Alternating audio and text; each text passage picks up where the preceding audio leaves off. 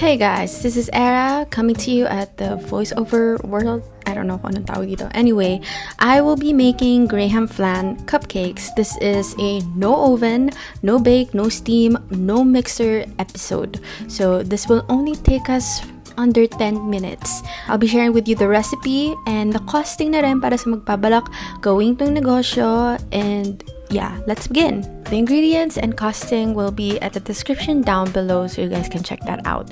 First, get your 200 grams ng crushed graham and then transfer it in a bowl. Behind the scene, nagmelt na rin ako ng butter. 1 half cup siya or 100 grams ng melted butter. You can use butter or margarine, whichever you like. Kailangan lang natin siya pang bind sa ating graham. Mix it all together, then get your cupcake or muffin pan, then lagyan mo ng liner. This is 20 ounce. You can buy this at your local bakery supply store. After that, lagyan natin ng crushed grahams. I'll be using 2 tablespoons sa pangsukat. In total, 18 ang nalagyan ko.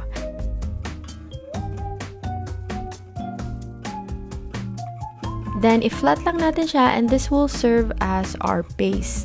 Once it's done, lagay na natin siya sa fridge habang ginagawa natin ang ating flan. This will be a no-bake, no oven, no steam, no mixer episode. So, behind the scene, nag-separate na ako ng egg yolk and egg white. So, we will be needing 6 egg yolks. Mix it together and then lagyan mo ng 370 ml ng evap milk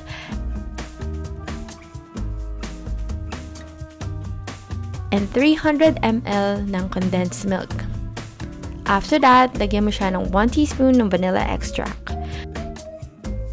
Just mix it all together. And then, get your gelatin powder. Ito, nabili ko siya sa tindahan malapit sa amin. Add 1 cup of cold water and then mix it. After mo ma-mix, idiretso mo na sa ating flan mixture. Mix it all together and then isalang na natin sa ating kalan. Medium heat lang dapat and then continuous lang sa pagmimix. Pag medyo kumukulo na siya, stop mo na and then strain it para mawala na yung buo-buo. Dapat mabilis ka sa part na to since mabilis mag-firm yung ating gelatin baka mahirapan kang matransfer sa cupcake liner.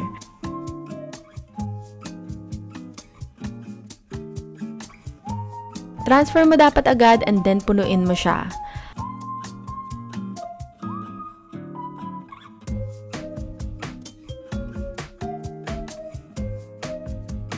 Pagtapos ka na, i-chill mo na siya sa fridge. You can chill this for 4 to 24 hours sa fridge bago siya i-serve.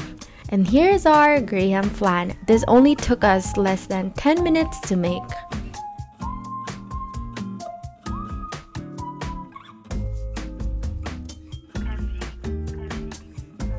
Now, if babalakin mo siyang ibenta or ipangbaon pag pupunta ka ng opisina, pwede mo siyang ilagay sa craft takeout box. This is 1,200 ml and makakapaglagay ka ng 6 pieces. I bought this at the local bakery supply store nearby our place. 10 pesos ang isa. And ang cute pa niya kasi kita mo yung nasa loob. You can place a sticker at the center if you like. And then you can sell it like this to your office mate or kapitbahay pang merienda.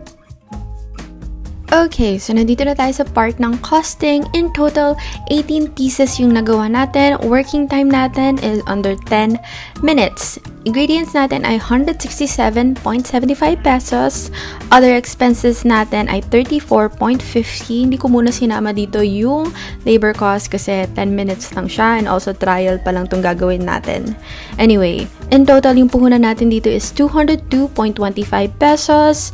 Um, puhunan natin per box ay 67.41 kasi tatlong box yung malalagyan natin. And then, puhunan natin per piece ay 11.23 pesos. Uh, pwede nyo ito ibenta ng 130 to 150 pesos.